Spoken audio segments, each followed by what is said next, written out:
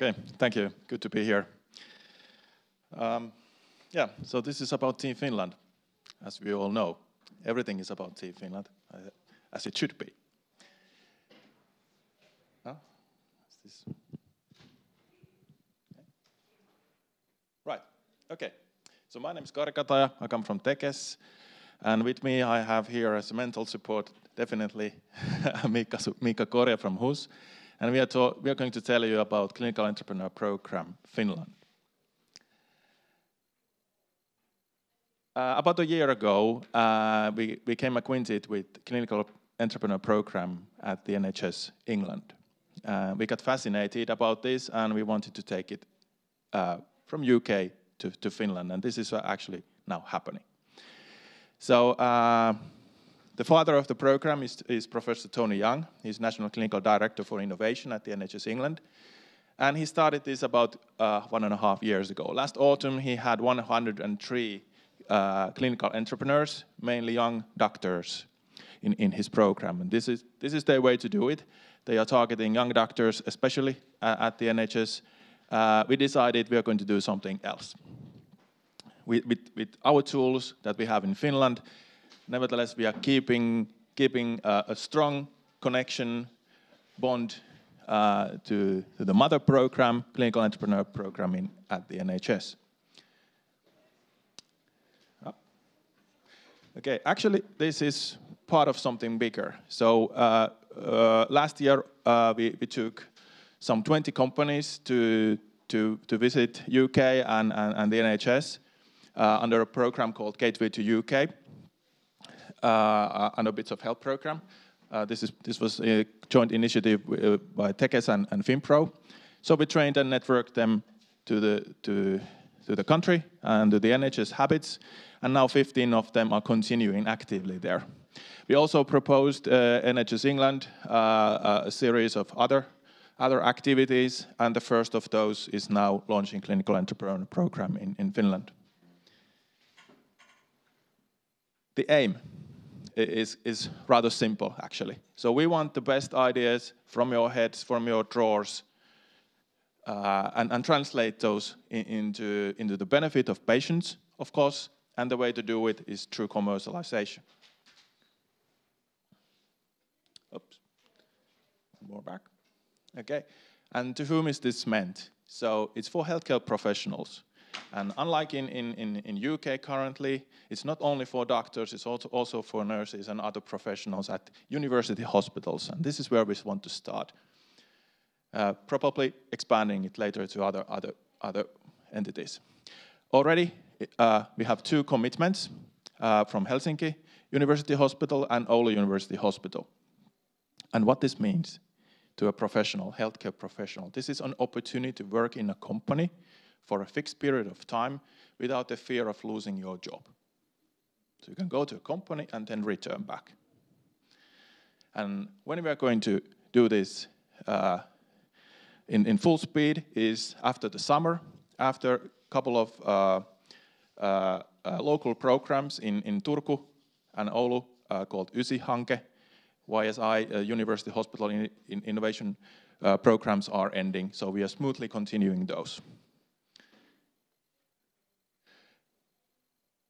And this is the process as we have planned it so far. It needs a little bit polishing, but this is, this is the basic idea.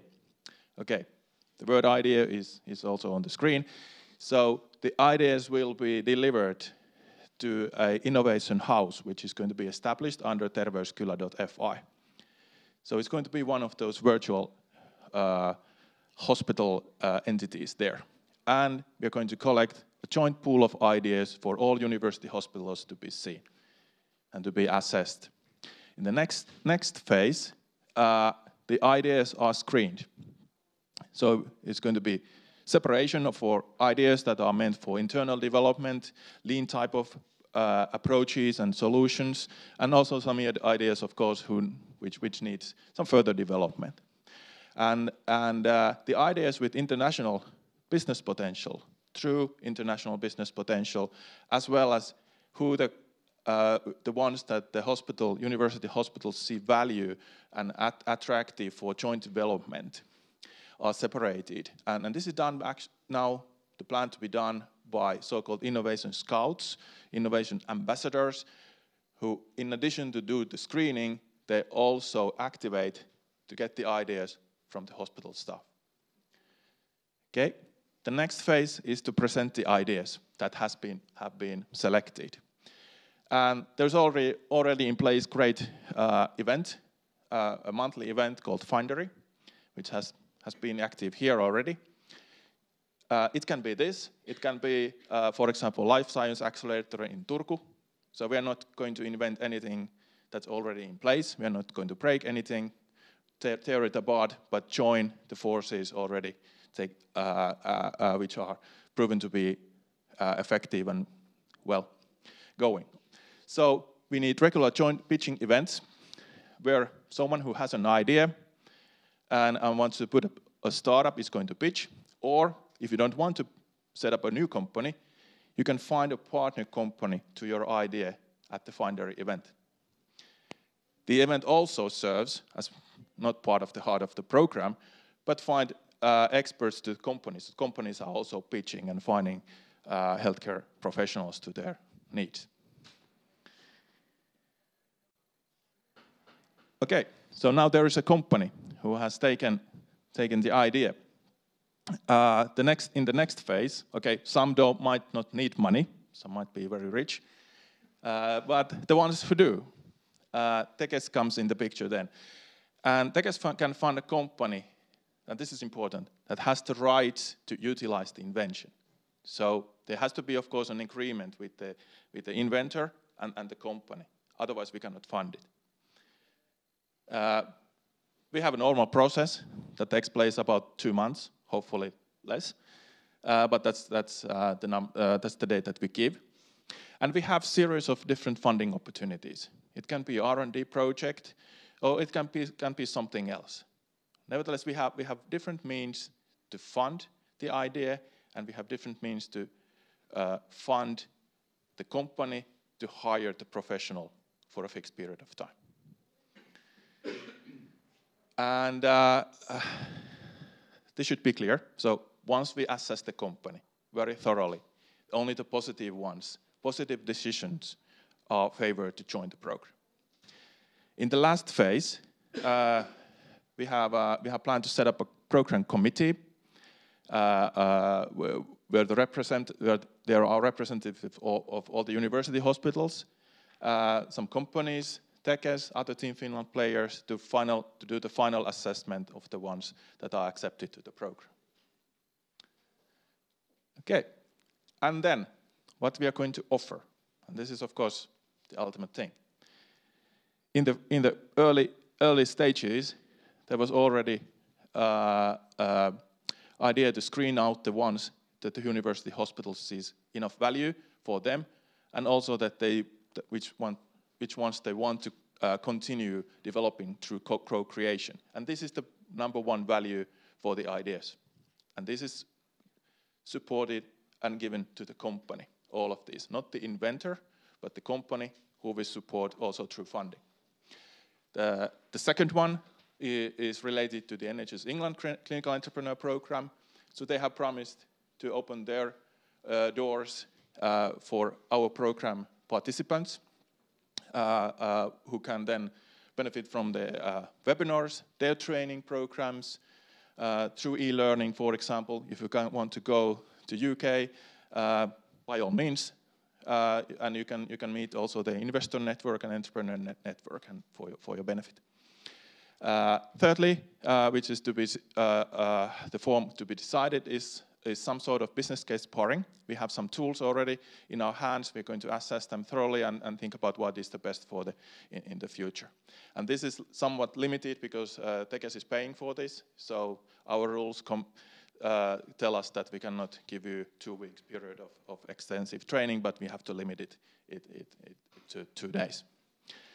Uh, nevertheless, we believe it's going to be valuable. And finally, some entrepreneurship training for example, presentation training, which comes to handy to, to all of us, I would say. Okay, so next steps. We are, as you see, we are not quite there yet, but we will be. Next is, is that we, we will get the commitment of all, the, all university hospitals, the remaining three. Okay, Miikka has already been in discussions with all five of them. As you know, two already have committed. The remaining three are very interested. It goes through their internal process, whether they're to, going to join or not. Okay, and then we're going to finalize the process uh, itself. And, and, something that's very important is, is the hospital's agreements on intellectual property rights, as well as how the joint development process is going to go, go on with the companies. So there's some paperwork that has to be, important paperwork that has to be done.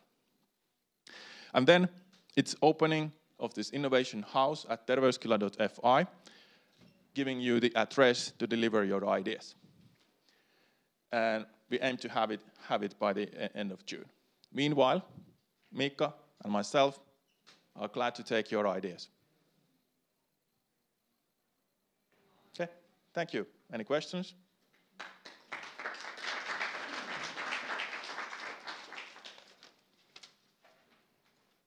No questions?